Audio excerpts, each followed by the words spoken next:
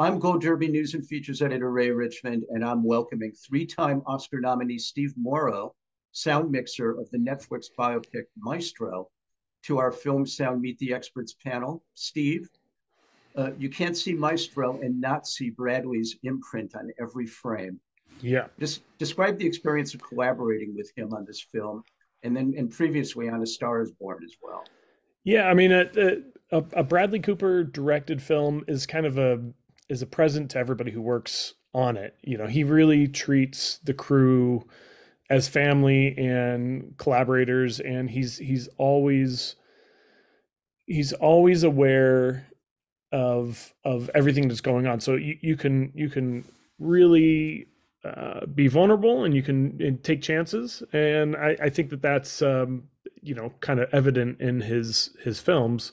Uh, like you said, every frame every second of the movie is something that he's designed in that way. Um, Stars Born was very similar, you know, same thing. You know, he's just he has a vision, and you know, if there's somebody that doesn't get it, they're getting pulled along with him anyway. So he's gonna he's gonna do the film the way he wants to make it. Was was mixing the sound uh, on Maestro, Steve, appreciably different from A Star Is Born? I mean, which you got an Academy Award nomination for, I might add. Uh, right. Uh, they're both music movies, but obviously far different tonally. Yeah, I mean, I mean the, the you know when you're mixing. yeah, I mean it, it's complete. It was a completely different uh, beast. You know, we had. It was important to keep authenticity going throughout the the mix and throughout the movie and so you know you would have these big party scenes uh, you know, or these big arguments in the film. And it was important to Bradley that they felt real. Uh, he had seen a film I did uh, a few years ago called The Front Runner, and that we overlapped every line of dialogue, you know, on camera, off camera, everything. Um, and we were able to pull off something that felt really authentic and real. And he said, you know, let's do that on this film for any of these parties or big scenes with a lot of people. Let's just have them all talk. And on the on the technical level, yeah, you just you put a, a ton of microphones out there and you make sure that everybody is covered, and then you allow the the the scene to play out almost you know like a documentary where you're just capturing what you can capture and you can you you make notes here and there like on the first take you know carey might have been a, a little bit quieter compared to the party scene so you you you know talk to bradley and say hey can i you know, can you have her speak up? And he goes, oh no, you can tell her. you know, you just go, okay. Hey, Carey, do you mind speaking up a little bit? Bradley said it's okay if I let you know. She went, yeah, no problem. So you know, you just you have these moments where you just you know he will you know if it's your idea, he's not gonna he doesn't jump on it and say, yeah, yeah, I'll I'll go tell her. He doesn't mind you know the the collaboration between the crew and the cat and then the cast. You know. Wow, you must have been we've been shaking a little bit though doing that.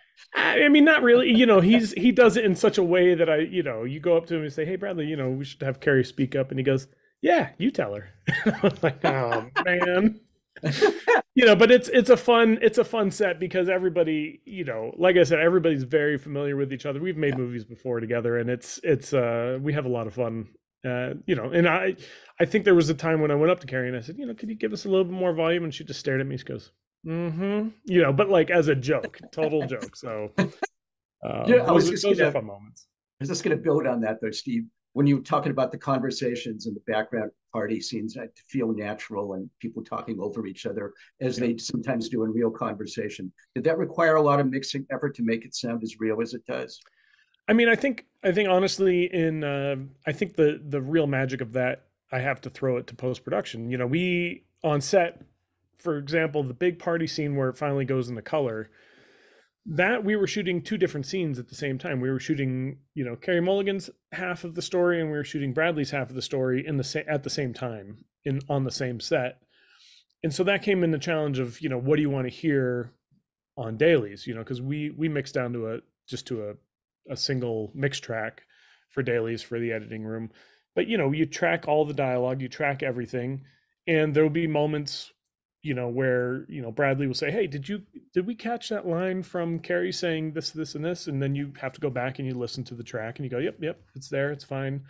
Um, and so the real work you know once we've captured all the material you know gets handed off the post and then with the editing room they decide what they want to hear more or less of but the, the idea is always let's cover it so that they have all the information so that they can make those choices later um, because you know you can't it's hard to make a solid choice like that on set. What are you going to hear? What are you not going to hear?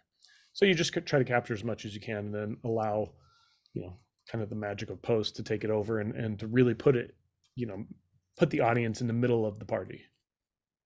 Are there special challenges as a sound mixer working in a movie where music is so prominent? You know you're telling the story again of leonard bernstein. So i mean what it, music could not possibly be more front and center well, what we what we accomplished on A Stars is Brad, you know, Bradley wanted to do everything live, and so when his I when that worked out as well as it did, he said, you know, we're going to do uh, Maestro, and I want the orchestras and choirs and anything that you see on camera, I want that to be live. I want to hear it. I want to hear it in the space. I want it to feel real, and that's that's the challenge where you just go, okay, you know, how are we going to how are we going to capture it in a way that is technically uh, correct, but also you know allows the movie to be made because it can't look like a scoring session. You know, it just it has to look has to look real, has to look period. And so those were the challenges you know that we thought about for a couple years, and we were able to bring in um, you know for the Ely Cathedral scene, which was the big uh, orchest- orchestral scene. We are able to bring in classic sound from London, who's used to recording the uh, LSO and they've actually set up in the Ely Cathedral before. So we were able to lean on them for a lot of their expertise. But we also kind of dictated here's here's what we want it to be. Here's the mic placements. Here's the certain things for us as a production. We need it to, be this way so that you know the, the ultimate goal is to really allow the audience to feel like they're a conductor or feel the music the way a conductor would hear it because that's not a that's not something that ever really happens for an audience. You know, mm-hmm. you you go to a symphony, you go you watch listen to it on radio, you don't get to stand in that in that spot. And that was kind of the goal was to allow the audience to experience the music the way that Lenny must have experienced the music every time. But that's what's so magical about this, Steve. I mean, is you're able to put really audiences in the literally in the middle of a symphony orchestra. I mean, yeah. as you say, they've never had that before. Usually they listen to classical music on the radio or, you know, or whatever the radio equivalent is in the digital age. Uh, right. And it just sounds so rich and immersive. I mean, it's so, so you know, Dolby Atmos. Yeah. And uh, um, that's got to be a credit to you and the team. Yeah. I mean, we, we, you know, we always strive to do something, you know, it's always the goal to make it interesting uh, on, on the technical level, but also, you know, it has to be seamless for the audience. If you, if you're if it's too slick or too different then you lose the audience and so it has to be a feeling that you're trying to portray to the audience that is watching it. So you, you want them to get lost in the story not necessarily in the the technical aspect. So you know there's that fine line of of playing you know being too showy or not showy enough. But i think the way that it was it was threaded was you know in, in a way just gives the audience this overwhelming emotion when you're watching that scene and you're watching that performance. Um, and so, yeah, on a on the technical level, you know, you have to plan for that. Uh, I think there was 61 tracks, 61 microphones for that scene, and wow. that's just a lot of information that you're bringing in. And wow, yeah, it's a lot of uh, a lot of planning. And that's, then you, you know, that's a few more than I have in my house. that's good. Just just capturing me. Um, yeah. No, uh, uh, Steve, I wanted to ask you just before we wrap, uh, as a three-time Oscar nominee, um, tell me about what those experiences, you know, going to the Oscars were like for you, being nominated by your sound peers.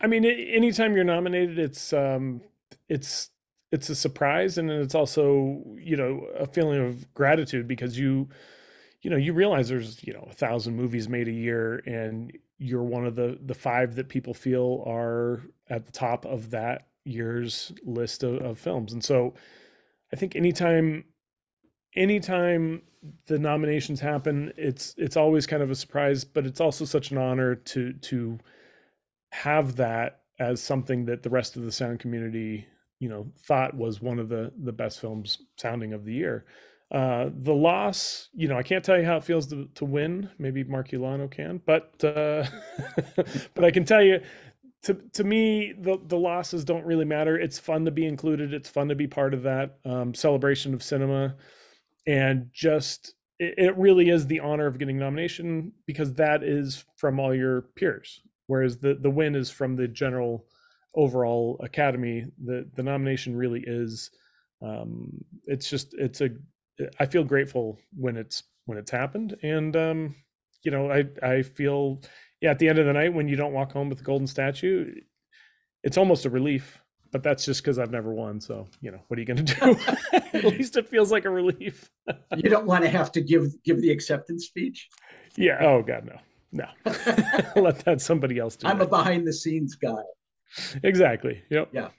Well, we're going to wrap things there, Steve Morrow. Good good luck to you. Uh, Thank you, sir. This coming awards season, Maestro, starring uh, Bradley Cooper and Carey Mulligan, is playing in limited theatrical release and streams on Netflix beginning December 20th. Thanks for joining us today, Gold Derby. Thank you.